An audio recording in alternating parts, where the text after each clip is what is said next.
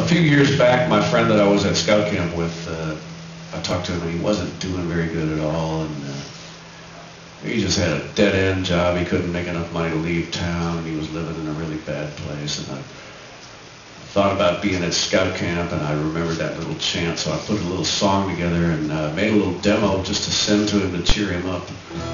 And I, I sent it to him and it cheered him up. And, uh, and then I played it for a couple other people, and they said, you have to put that on your album. And I said, no, no, that's, that's just for this friend of mine. And I kind of got talked into it. And, uh, and then he uh, moved to Madison, Wisconsin, which is a great city, and got married, and uh, everything was great. I, I don't think the song had anything